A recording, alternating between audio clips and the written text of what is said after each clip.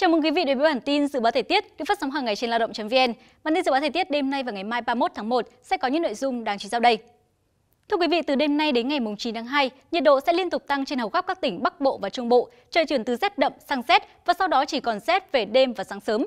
Ngày mai tại khu vực Tây Bắc Bộ có mưa vài nơi, đêm và sáng sớm có sương mù và sương mù nhẹ rải rác, trưa chiều trời nắng, trời rét, có nơi rét đậm với nhiệt độ trung bình từ 12 đến 29 độ C. Ngày mai dự báo tại khu vực Thanh Hóa có mưa vài nơi, sáng sớm có sương mù và sương mù nhẹ rải rác.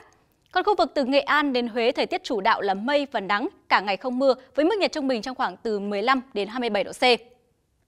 Còn tại khu vực Nam Bộ, đêm có mưa vài nơi, ngày nắng, có nơi có nắng nóng, nhiệt độ cao nhất trong khoảng từ 33 đến 34 độ C.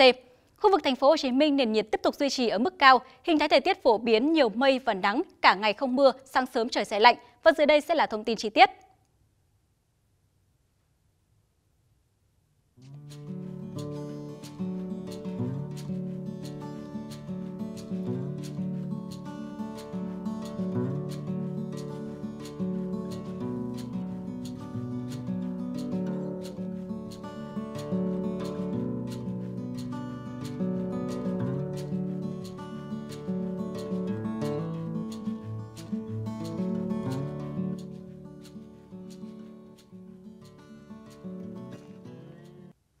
Như thường lệ từ nối bản tin sẽ là thông tin về thời tiết biển.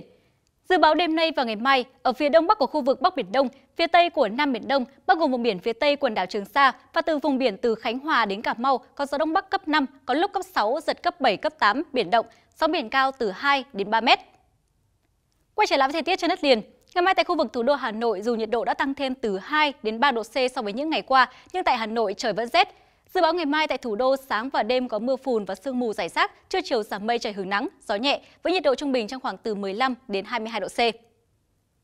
Thông tin vừa rồi đã khép lại bản tin dự báo thời tiết ngày hôm nay. Cảm ơn quý vị đã quan tâm theo dõi. Xin chào và hẹn gặp lại.